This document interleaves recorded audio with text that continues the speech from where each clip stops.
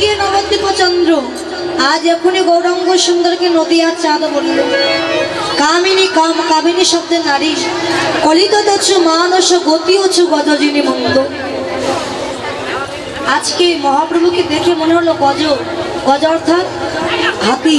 হাতি যেমন হেলে দুলে যায়, মহাপ্রভু বৃন্দাবনের বিবর হয়ে হাতির মতো যেন হেলে দুলে যাচ্ছে।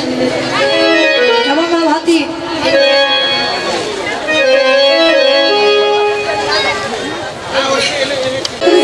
চলন গতি হেলে দুলে। রাস্তা দিয়ে যায় হেলে দুলে, কিন্তু একটা জিনিস ভালো করে লক্ষ্য করবেন, ওই মাতালেরা কখনো গাড়ির নিচে চাপা পড়ে। কেন বলুন তো? ও মাতাল হলে কি হবে? ও তালে ঠিক আছে।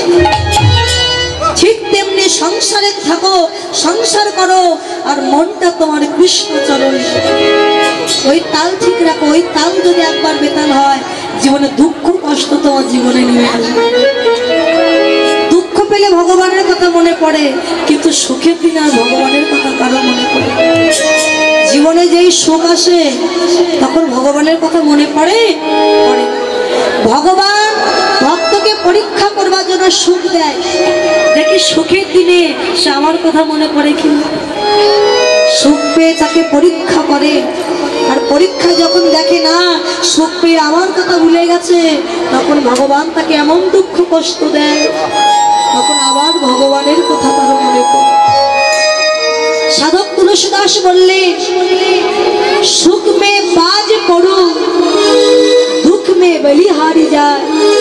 সুখের মাথায় বাজ পড়ুক, সুখ আমার চাই না, দুঃখ মে বলিহারি যায়। দুঃখ আমার কষ্ট তুমি আমায় দেবে প্রভু। যেন দণ্ডে দণ্ডে পলে পলে আমি হাত বিষ্ণ বলে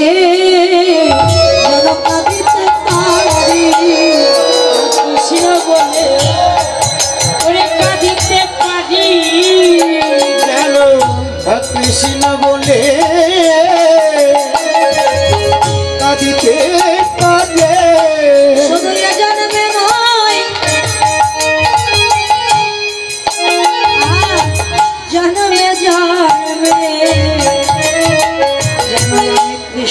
বলে কাঁদিতে পারি। ওরে শুধু এ জন্মে না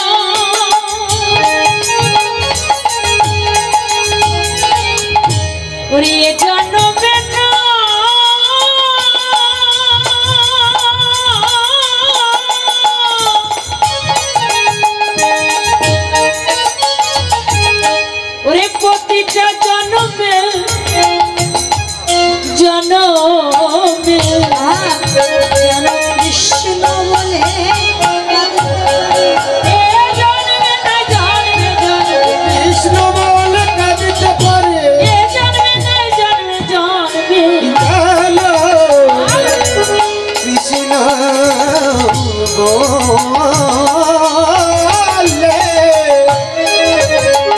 আমি কাঁদিতে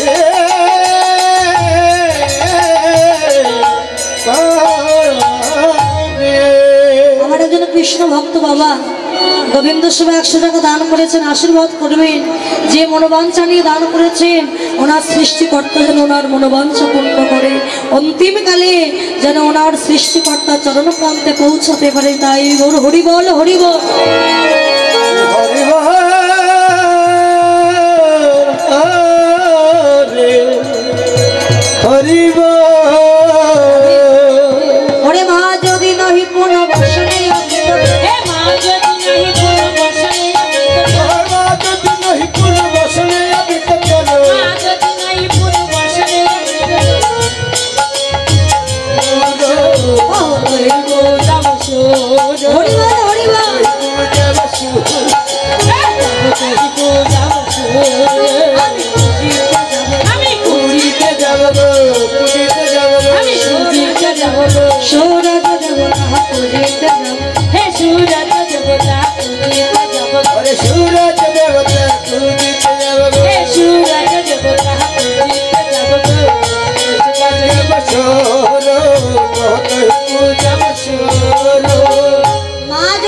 নহি মাঝের দিন কখন? সকালবেলা, দুপুরবেলা, সন্ধ্যাবেলা। এর মধ্যে থেকে মাঝের দিন হচ্ছে দুপুরবেলা। মানব দেহে তিনটে কাল আছে। শিশুকাল যৌবনকাল আর বৃদ্ধকাল। এর মধ্যে যৌবনকাল হচ্ছে দুপুরবেলা। শিশুকালে কৃষ্ণ ভজে কৃষ্ণ পাইবার আসে। যৌবনকালে কৃষ্ণ ভজে কৃষ্ণ আসে কি না আসে? আর বৃদ্ধকালে কৃষ্ণ ভজে জমেরও তর আসে। শিশু বয়সে মন থাকে পবিত্র পরিষ্কার। সেখানে একবার কৃষ্ণ ভক্তির অঙ্কুর হলে ওই গাছ কেউ কখন মারতে পারে? কহো তো এই পূজাব সুর সুর মানে দেবতা। আমি সূর্য দেবা দেবতা পুজিতে গৌরাঙ্গ সুন্দর রাধা প্রেমে বিভোর হয়ে বলছে, আমি রাধা। আমি রাধা। আর সহচর গণকে বলছে ললিতা? চল সূর্য পূজার সামগ্রী সাজা আমরা সূর্য পূজা করতে যাই। কম্প পুলক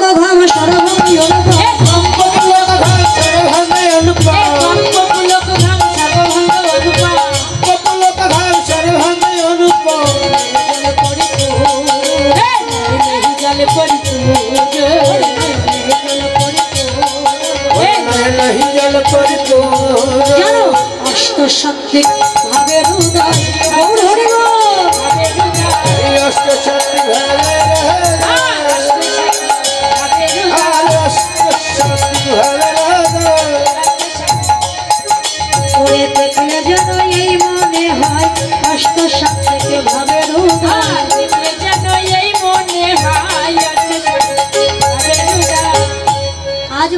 মহাপ্রভু অষ্টসাত্বিক মহাভাবের বিকার ঘটেছে প্রভুর অঙ্গে। অষ্টসাত্বিক মহাভাব কি কি? শ্বেত স্তম্ভ, রোমাঞ্চ সরভেদ বৈবর্ণ, কম্পন, অশ্রু আর প্রলয়। এই মহাভাবের বিকার ঘটে প্রভু কি করেছে জানো? হ্যাঁ বাম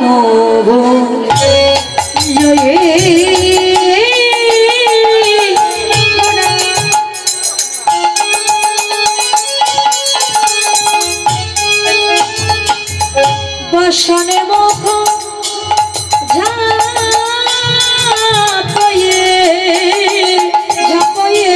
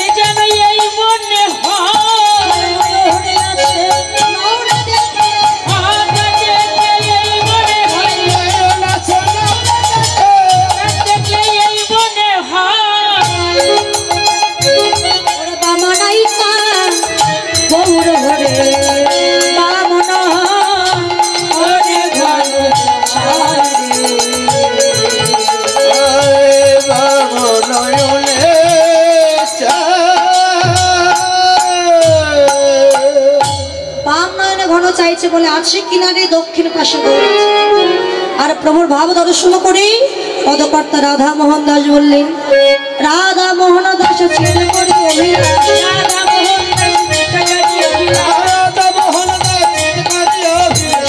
চরণ যেন পাই।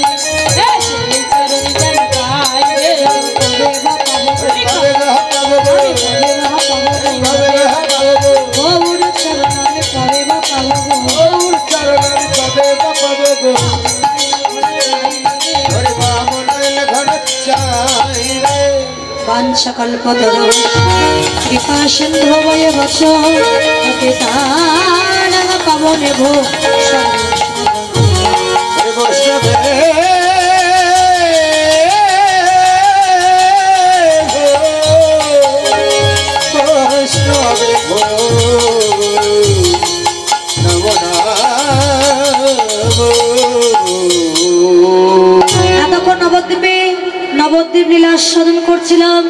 এবার সবাই যাব মধুময় বৃন্দাবন ধাম রাধারানী জয়ধ্বনি পড়তে পড়তে বৃন্দাবনে যাব সবাই মিলে। যাব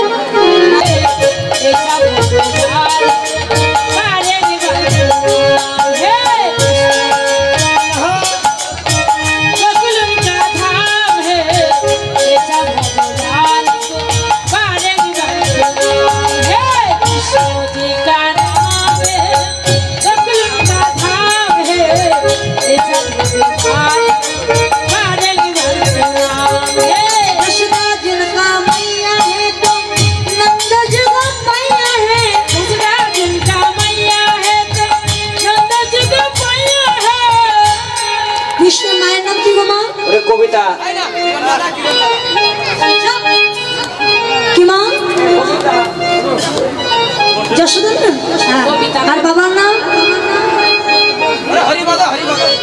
নন্দ মহারাজ যশোদা জনকাম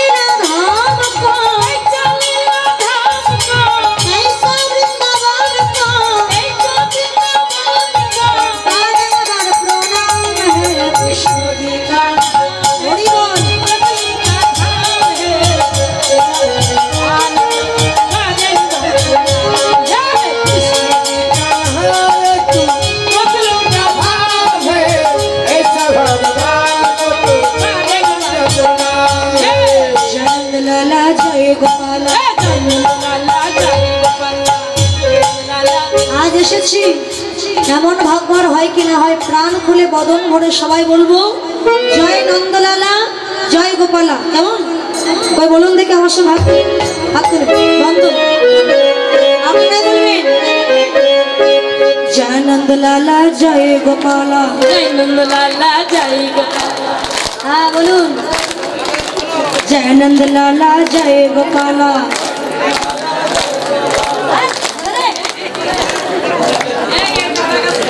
বলুন জয় আনন্দ লালা, জয় গোপালা। আর একটু জোরে বাবা। জয় আনন্দ লালা, জয় গোপালা। গিরিধারী লালা, জয় গোপালা, জয় আনন্দ লালা, জয় গোপালা।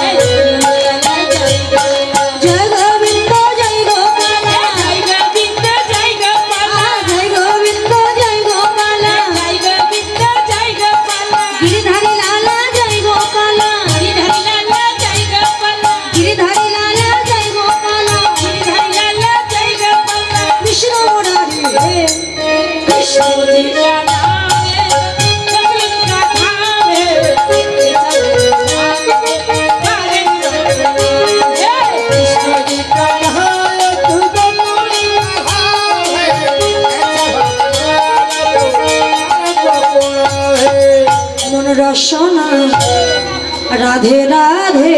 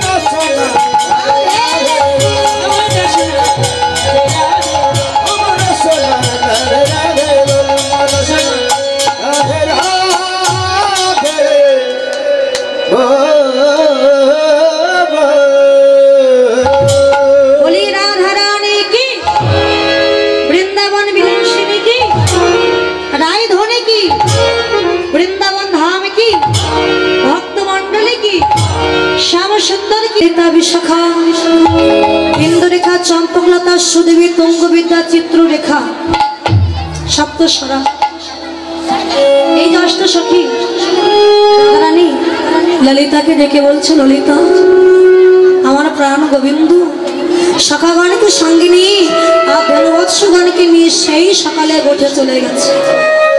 ওরে সকালে গো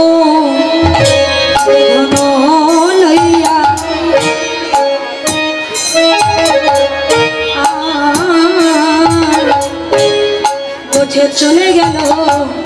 আমার বিনোদী সকালে গো লইয়া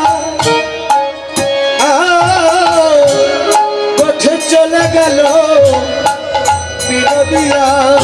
উড়ে দিয়া সিংহ বেনুরে শান রে। উড়ে দিয়া সিংহ বেনুরে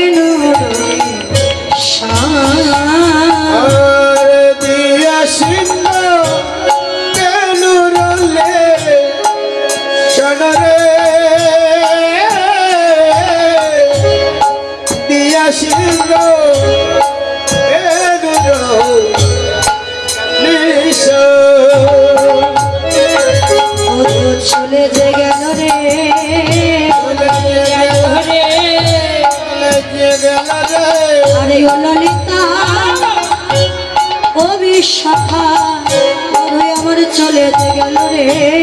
ললিতা ও বিশাখা বধু চলে গেল রে।